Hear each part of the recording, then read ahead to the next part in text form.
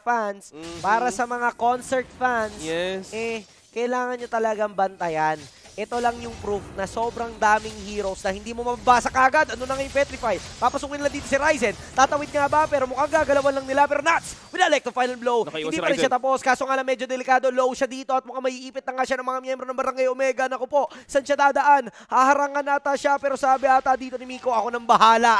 Ito na nga ba ang laban ngayon? Miko, Wow! naka- nakaiwas pa rin si Nuts. Ay, for an eye! Iba pa rin talagang galawan ng Task Force RSG. Binabaliktad ang heist. Mula sa barangay, doon pa lang sinubukan kunin ni Miko, pre. Men, sinats talaga, men. Kanina pa to eh, game on pa lang nung pakito niya. Sinong mag-aakala na matatakasan niya pa yon? Sobrang low niya na. Pero sakto rin yung timing niya dahil nga doon sa ginawang ah, pagsilip dito ni Miko. But now, Omega, sila ngayon ang magsa-start. Ryzen is very low. Pero nalango yan ata. Dito na rin yung damage siya binitawan dito mula kay Exor. Tapos kuha ng isa. Na-secure dito ni Nats. Yung turtle. Kukuha pa siya ng kill. May altar na pang save pero mukhang hindi magiging enough. Kaya naman ngayon, eh talagang hahabol na sila. Damage coming in from Barangay Omega. Will it be enough? Kill VJ. Tatawid dito. Pero mukhang sila talaga ang madedehado. Ngayon mismo, si Kel VJ at si Ryzen para makabawi. Setup talaga ni Miko ang aasahan ng Barangay Omega.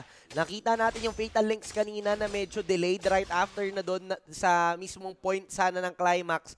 Tsaka medyo malayo-layo din kasi yung mga members ng Barangay Omega. Oo. Kaya hindi ah, hindi ma-force ni Miko yung setup kagad. Medyo madedelay yung pagpasok. Pero si Light nakabang, may petrify na lang yan. Ako po, rough waves coming in from Light, a solo kill. Hindi na Well, under the sea kung walang pusit at wala din si Kadita na sama-sama dito sa laban na to. Naku, Ayan na nga! Si Miko nga ba ang makukuha? Kinuha na nga ang pusit. Light with the kill. Vision. Focus na lang ako sa jungling. Kailangan nating humabol. Pero sabi ng RSD Philippines, hindi kami papayag na humabol kayo. Paano nga ba makahabol ngayon ng Barangay Omega? Setup, si Miko ngayon nanganib ang buhay pero si Irad na kuha ng kill. May follow-up ngayon mula sa RSG Philippines. Pero ang target na knock up dito ang isa. Si Ryzen, makakaiwas pa ba? Buhay pa rin! Si Ryzen! Habol Pero si Irad hindi na pinakawalan. RSG Philippines. Hindi binibigyan ng oras. Yung Fatal May Links. call. Pero dito naman, yung conceal play, tatlo. Ang may iipit dito ni Irad, pero mamba out ang kanilang call. Kaso nga lang, naku po, ang call! Tumawid siya sa may bandang gitna. Tapos ngayon, ihabulin lang. Dito yung damage si Kosei. Sa may bandang lang. Pero si Light, pumasok na. Nagsalom. Lumangoy. Sumisid sa gitna. Pero wala naman sila makukuha. Two kills lang ang isa-secure ng RSG Philippines. And right after that exchange, Matic, pero ang lahat para bumawi sila dito. Again, isang setup lang ni Miko dito na dikit-dikit. At talaga mabigyan ng damage dito ng Omega. Kaya pa nila eh. Pero now, medyo delikado kasi kalahati ng buhay ng Lord. Itutuloy ata to ni Irad. Nakamorte siya dito, so hindi siya basta-basta mahuhuli din ng Fatal Links because of the immunity. Kaya naman ngayon, magbibigay lang ng konting damage ito si Kosei kay Kel VJ, kaya kailangan lang dumistansya. Pero si Nats Nats- dito, ng Google lang sa may bandang likuran, pero ngayon, ibibigay na ata nila. Nahuli dito ng RSC Philippines yung Lord. Bibigyan nila yung isa. Bagsak ngayon si Ryzen, sumilip bigla, pero si Miko, nako, low na rin siya. Pero ngayon nanganib dalawang member ng Omega pero Ke- Keller nag-blazing duet para makaiwas na lang sa damage ng RSG Philippines. Miko goes down. RSG. Nila dito kailangan nilang hiwalayan ng RSG Philippines pero paano?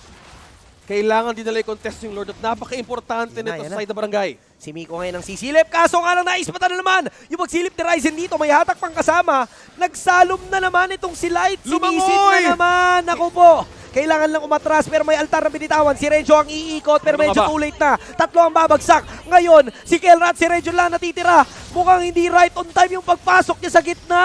Nag-iisa na lang ang dependent tumipend sa barangay Omega si Renjo. Four man down for Smart Omega. Sinubukang i-bait in ng RSG Philippines na pumasok. Komportable yung late game.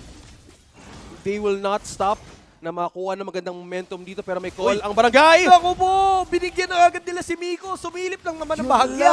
Pero tinuluyan talaga nila. Kaya ngayon, yung contest ng Omega itutuloy pa ba? Pero ngayon, may ginagawa naman si Nats doon sa may bandang base. Mukhang itutuloy nila doon. Mismo sa pagkiklear. Nahati na nga kasi napilitan si Kelrang umuwi habang yung Lord naman na magiging focus dito ng RC Philippines. Andyan pa rin si Ryzen. Pero ginugulo lang siya dito ni Exhort kaya hindi sila makalapit ng tuluyan. Hindi rin pinaforce ng RC Philippines. But now, ang makakasecure ng Lord ay walang iba kundi si Irad pero makukuha nila yung kill auto exhort. Mabubuhay lang din kagad. May mga minions doon sa base ng Barangay Omega pero ngayon godlike na dito si Irad. Laban kung laban, sabi ng barangay, si Light ngayon o iwas sa setups na pwede kunin ni, ni Renjo.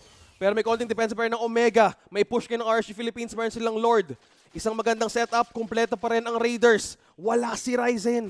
Will the damage be enough? Medyo delikado ngayon ang sitwasyon Kaya ng Omega. ba? Kasi kulang sila ng isang miyembro habang may Lord na puno po yung buhay tapos napakadaming minions sa darating. Nalango yan dito si Kelra pero mukhang napalipad lang naman siya pero si Nats dito wala ba elect final blow na meron din siya petrify na kasama. May mga minions, may blazing duet. Enough ka ba talaga yung depensa? Exhort! Using the cult altar to save his teammates but there you have it, RSG Philippines!